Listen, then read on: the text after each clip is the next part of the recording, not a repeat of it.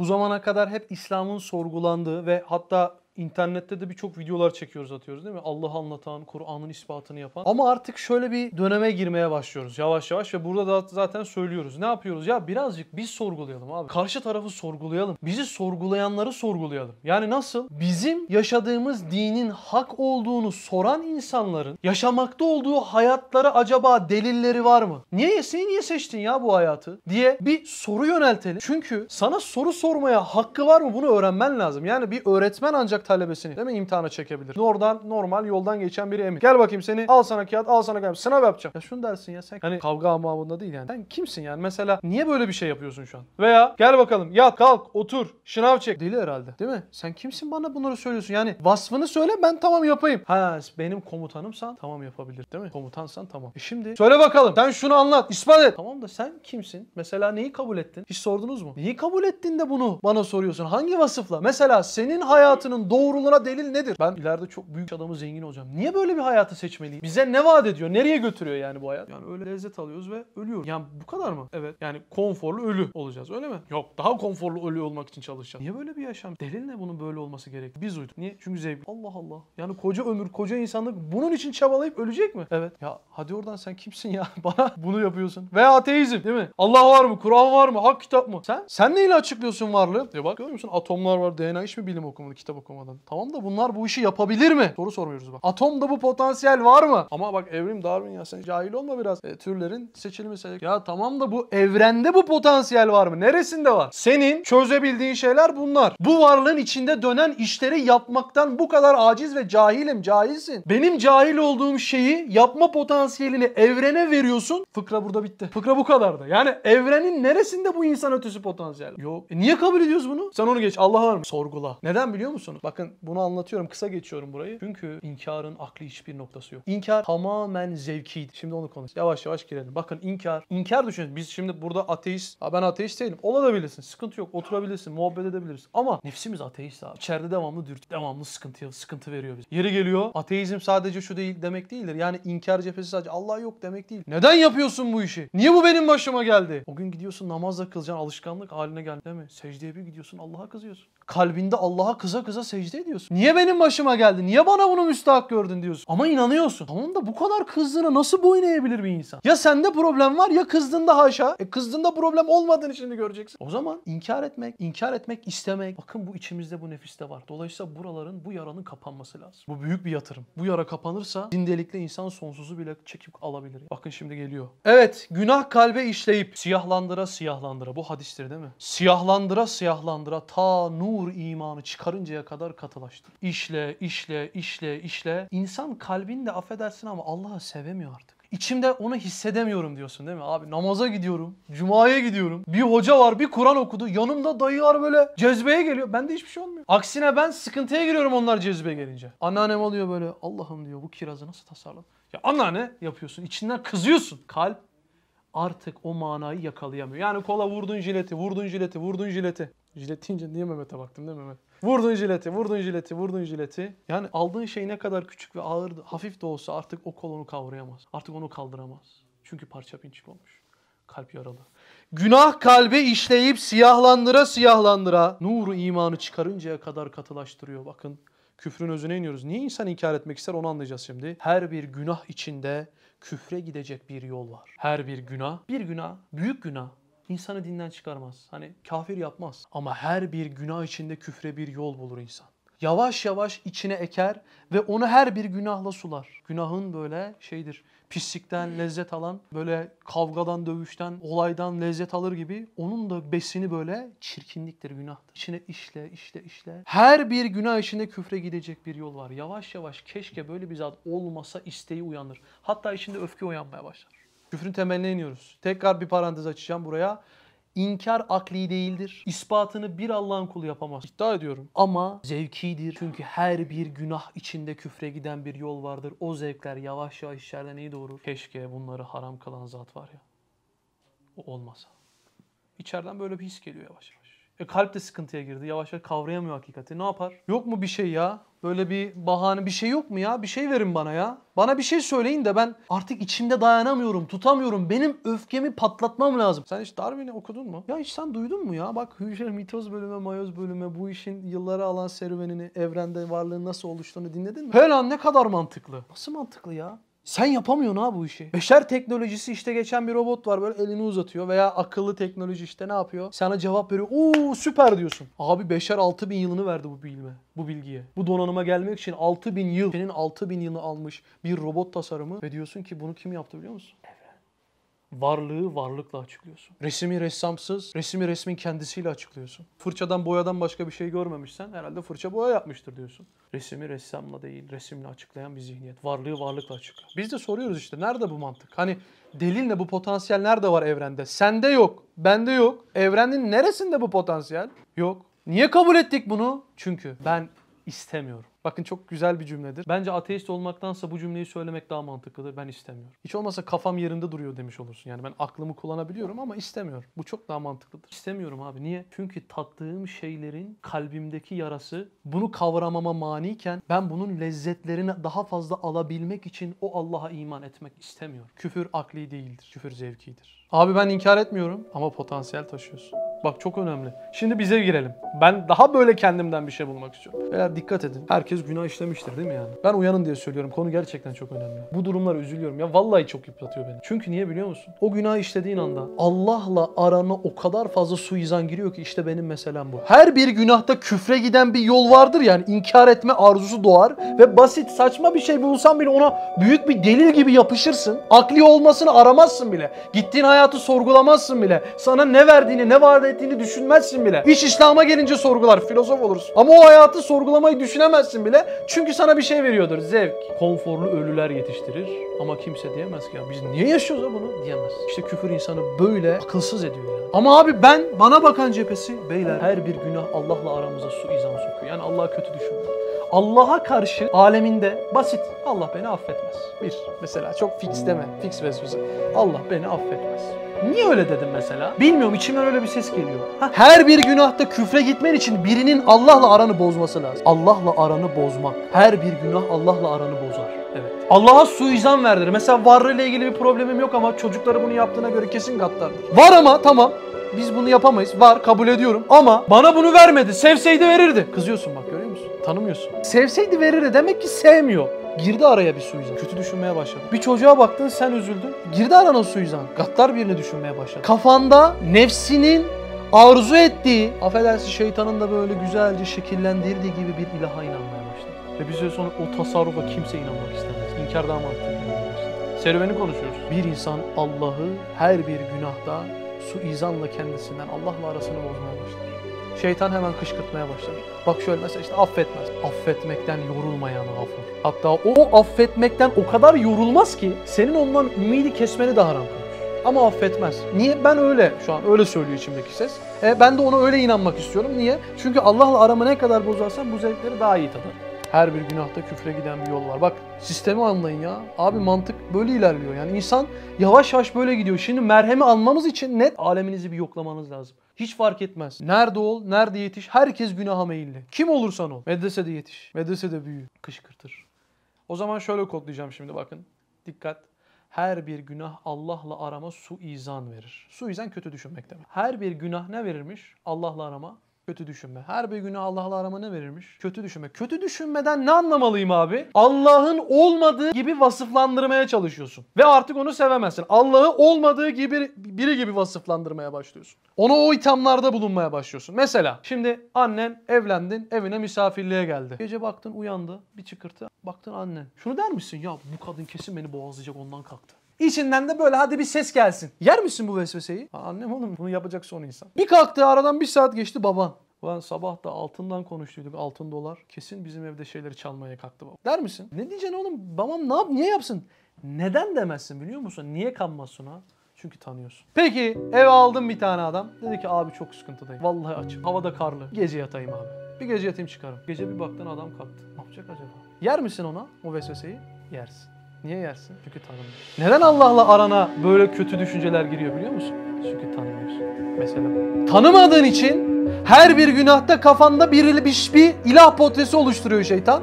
Ve işin sonunda öyle bir ilaha secde etmek istemiyorsun. Bu normal ama onun oluşması sıkıntı çünkü tanımamak senin en yaptığın namazı kılmamaktan da büyük yaptığın bir hata. Allah'ı tanımamak en büyük hata, ilk hata. Oturdu mu? Tanırsan yok ya. Mesela Taif dönüşü Allah Resulü taşlanmış, hakarete uğramış. Kan revan içerisinde açıyor ellerini diyor ki Ya Rabbi biliyorum ki sen bana zulmetmezsin. İşlerin de ters gittiği zaman kesin parayı vermeyi hiç sevmeyen, beni hiç düşünmeyen, böyle rezil rüsva olmamı isteyen bir Allah var başka. Yiyorsun hemen. Resulullah da Taif dönüşü yemiyor aleyhisselam. Neden? Bakın tanıyor. Peki insan nasıl bu Al- Allah'tan nasıl bu hale gelir? Her bir günahta küfre giden bir. Her anda ne yapardı şeytan? Hemen bak oğlum yani sen bunu bir kere bir şey diyeceğim yani. Ya defaatle yaptın artık yani. Veya yaptın, tövbe de ettin ama artık yine kalbinde bir hasar oluştu. Yani tam marifetle, samimiyetle, gayretle onu aşmadın. Bir bakıyorum bir çocuk ölüyor bak. Bir çocuk öldü. Öldü doğru. Allah çocuk öldürdü ya. Çocuk katili bizzat kafanda öyle tasarlamaya başlıyorsun. Acıyorsun o çocuğa da şefkat et şefkat. Ya nasıl olur ya Rabbi bu çocuk daha küçücüktü falan. Sen acıyorsun. Sana bunu vermiş. içine şefkati yerleştirmiş. Yani sende bu donanımda yok. Parçayı almış takmış. Harun abiye de takmış. Ondan sonra bakayım bu odada şefkatsiz bir adam yok. Takmış takmış takmış. Annene evet görüyorsun bak takmış o şefkati. Timsaha takmış o da yavrusunu koruyor. Kurbağaya takmış o da koruyor. Bütün mahlukata dağıtmış ve dağıtmaya devam ediyor. Ama bu mahlukatın binlerin milyon desem abartı olur mu? Zaten insanoğlu milyar tane. Milyarların içinden bir mahluktan daha az şefkate sahip ama. Sen acıyabiliyorsun o acıyamıyor. İlginç. Halbuki hepimizin toplamından fazla olması lazım ki versin ve vermeye devam etsin. Allah Allah. Ve sen o çocuğun adını sanını bilmiyorsun. Nakış nakış dokunmuş, ilgilenmiş, hücre hücre atom atom işlemiş. Ama sen düşünüyorsun adını bilmediğin çocuğu DNA'sına kadar işleyen bilmiyor, düşünmüyor. İlginç. Bak biz böyle muhabbet ederken gittin bir köy evine bir tane işte köy ağası artık veya bir amcamız. Oo gençler gelin bakalım. Ne yapıyorsunuz burada? İşte amca biz Kur'an talebesiyiz. Buraya Kur'an okumaya, Risale, Cevşen okumaya geldik. Aferin lan size. Gelin bakayım şöyle oturun. Hanım hele şuradan bizim koçu bir çıkar. Kesiyor gözümüzün önünde. Allah Allah alıyor çeviriyor. O hacı amcayı ömür billah unutabilir misin? Al diyor butunu önüne koyuyor. Allah Allah hacı amca adamsın diyorsun. Hacı amca sana kesip koyunu verince çok şefkatli. Allah arslanına ceylanı kesip verince gaddar oluyor ama niye? Sen yemedin diye mi? Allah senin Allah'ın, arslanın Allah'ı değil mi? Sen aslana acıyamıyorsun diye, ona şefkatin yetmiyor diye, sırtlana acıyamıyorsun, pis hayvan diyorsun. Acıyamıyorsun diye, ona acıyacak kadar şefkati geniş olan. Niye gaddar oluyor? Hacı amca postu kenara attı, sen de yedin. Hacı amcanın cenneti sonsuzu var mı? Senin cennetin sonsuzun var mı? Ama yine rahmetli. Allah'ın sonsuzu var. Ben evet seni bir kuluma rızık yaptım ama senin hakkını zayi etmem. Sen bile dedik ya o ceylanı da bak sen düşünüyorsun. Allah'ım ne kadar masum diyorsun. Senin düşünmeni sağlayan o ceylanı zayi etmez. Onun ahireti var. Senin ahiretin yok. Hacı dayının ahireti yaratma gücü yok. O yine merhametli ama ahireti diriltip tekrar inşa edecek olan Allah gaddar oluyor haşa. İlginç. O çocuğu tekrar dirilteceği bir ahireti olan gaddar oluyor haşa. İlginç. Sen, ben, bizim bütün insanlık, şefkat, çocukla ilgi, ahiret, sonsuz. E niye yaratıyor? İşte aramızda birkaç tane sıkıntılı arkadaş var. Affedersiniz biz o arkadaşlara ders arasında mal değneği diye tabir ediyoruz. O arkadaşları ayıklamak için yapıyor Cenab-ı Hak. Sen gaddar! Kalayın bunu işte. İçinde çünkü öfke var Cenab-ı Hakk'a karşı. Nasıl ortaya çıkaracaksın? Şeytan yıllardır secde etmedik yer bırakmadı değil mi? Nasıl çıkardı Cenab-ı Hak ortaya? Hazreti Adem'le. Senin içindeki öfkeyi Allah düşmanlığını neyle çıkarıyor? O çocuğu öldürmekle. Halbuki sonsuz var, ahiret, o çocukla ilgi var, şefkat desen kaynağı o. Ama nasıl çıkarıyor içimizdekileri? Öldürün bakalım ne yapacak. Oğlum sen şöyle- Biliyordu ama artık sen de biliyorsun. O yüzden lütfen şurayı iyi anlayın. Her bir günah Allah'la aramıza mesafedir. Ve ancak tanımayanlar bu zokaya düşer. Bir tane daha mesela tanıyalım. Havada kalmasın. Mesela ergenliğe girdiği zaman insanın böyle coşku, hisler kabarır değil mi? İlk iş nedir ergenlikte? İsyan etmektir değil mi? İlk iş ergenlikte Allah'la arana mesafe koymaktır. Çünkü istediğin şeyler vardır. Her bir günahta küfre giden bir yol vardır. Onun lezzeti ve cazibesi vardır. Ve inkar etmek için insan yollar arar. Hiç olmazsa mesafe koymak için. Bak suizan geliyor. Allah lezzet ve zevk vermeyi istemeyen bir zattır. Her şeyi haram kılmış. En güzel, en zevkli şeyler haram. O zaman Allah böyle zevk falan almamızı istemiyor. Doğru mu? En iyisi ben ondan uzaklaşacak şeyler yapayım. Çünkü nasıl kodluyorsun? Küçüklükten beri belki biraz da bizim hatamız. Çocuklarımızı Allah'a tanıtmadan yetiştirmemizin bedeli. Haram, haram, haram, haram. E her şey haram, her şey haram, her şey haram. Demek ki Allah zevk vermeyi istemeyen biri. Her şeyi haram kılmış çünkü. Her zevkli şey. Yanlış. Bakın vallahi billahi kimse Allah'tan daha fazla yarattığı kuluna, mahlukuna lezzet ve haz vermeyi isteyemez. Beşer haz nedir bilmezken içine haz almayı dokuyan, beşerin haz alması için mahlukatı dokuyan, beşer ergenliğe girmeden önce kendine fark, kendini bilmezken onu lezzet alacağı bir şekilde kendinden habersizken ondan önce onu bilip o şekilde tasarlayan zevk almasını istiyor.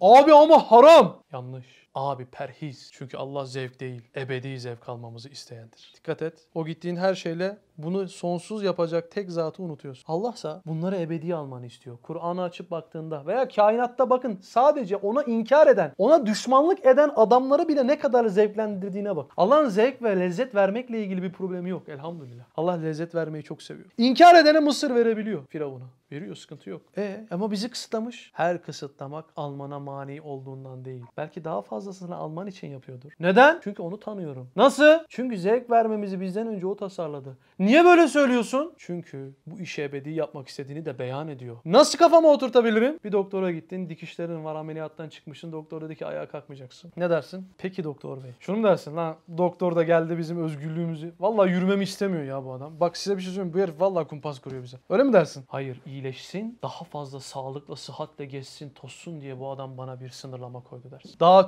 ötesini yapabilmem için yaptı. Çünkü tanıyorsun. Dedi ki et yemeyeceksin. Çıkmışsın ameliyattan. Kolesterol tavan. Yemeyeceksin. Valla bu adam bize düşman ben size söyleyeyim. Bir antepli et yemeyeceksin dedi. Bu herif kesin düşmanımız. Kesin istemiyor. Öyle mi düşünürsün yoksa? Ya bu adam sağlığıma, sıhhatime kavuş. Daha fazlasını yapabilmem için imkan hazırlamaya çalışıyor ya. Allah dikkat edin zevk almamızı değil ebedi zevk almamızı istiyor. Abi nasıl ebedi alırız? Allah'ı tanıyarak, bunu yapacak tek zatı bularak. Abi niye kısıtlıyor peki? Çünkü sen onun yapma dediğine gittikçe unutuyorsun onu. Yani tek fırsat var. Bu işin ebedi olmasının tek çözümü var. Sen de onlara giderek o zatı unutuyorsun.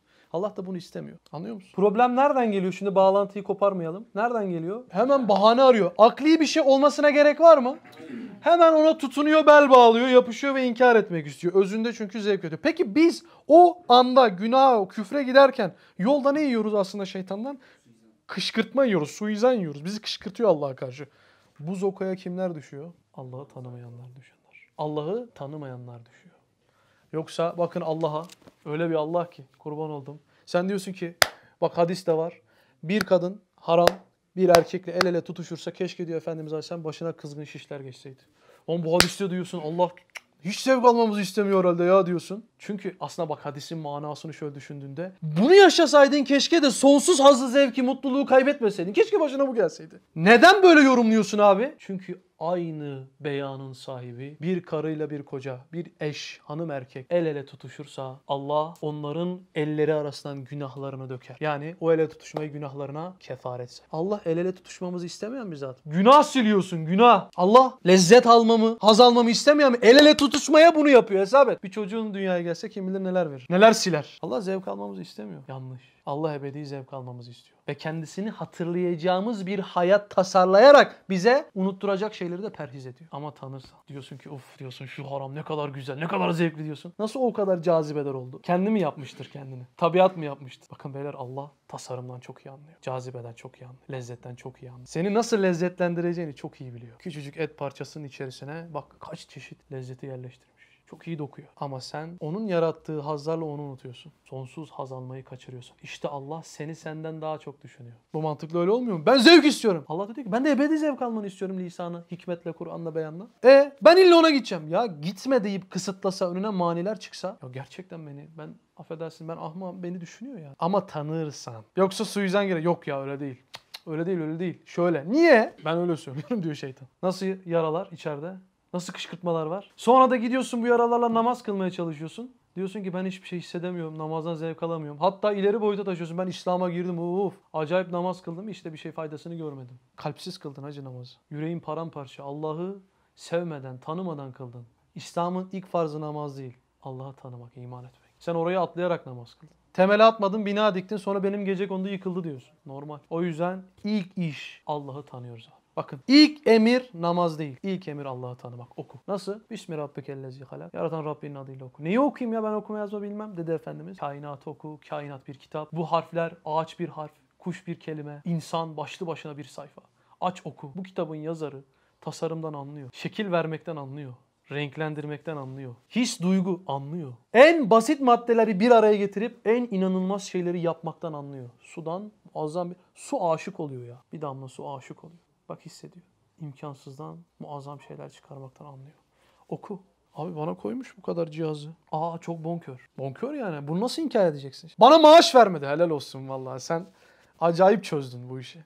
Süper okuyorsun. Süper tanımışsın. Milyarlarca lira verseler vermem aklımı canımı. Dünyayı verseler vermem canımı. Dünya senin. Ne can? Vermem abi vermem. Ne yapayım ben? Her şey benim olmuş. Bütün zevkler benim olmuş. Bir et parçasıyım. Ne yap? Az önce konuşuyordunuz herhalde. Cennette gözün olmasa ister misin falan diye. İki gözün yok cennet var. İstemem abi cennet. Gözsüz, akılsız cenneti ne yapayım? Bonkör mü? Ama maaş vermedi. Bir ticaret yaptın yarıda kesti. Demek ki vermeyi sevmiyor. Aferin lan. Ne kadar güzel yedin. Halbuki Mısır gibi bir saltanatı kendisine düşmanlık edene bile verecek kadar bonkör. Ya bana vermiyor. Belki daha ötesi vardır ha. Vermekte problemi yok çünkü. Bakın buralar namazın önündedir beyler. Orucun önündedir. Resulullah Aleyhisselam'ın 12 yıl işlediği konulardır bunlar. Allah Allah Allah. Biz İslam'ın gençleri olarak maalesef bu toplumda namazı, orucu telkinle büyüyoruz. Ama 18-20 yaşına geldiğimiz zaman affedersiniz ama Allah'ı sevmeyen ama namaz kılmak zorunlu insanlar gençler haline geliyoruz. Çünkü tanımıyoruz. Çünkü kafamız suizanlarla dolu ve içimizde günahlardan gelen bir inkar arzusu da var. Bunların hepsi birleştiğinde eve gittiğinde annesinin gözünün önünde sırf kırılmasın kızmasın diye namaz kılan gençler yetişiyor. Ne kadar acı. Halbuki Resulullah'ın yetiştirdiği nesil öyle miydi? 13 yaşında geliyorlardı Efendimiz Aleyhisselam diyorlardı ki ya Resulallah bizi de cihada götür.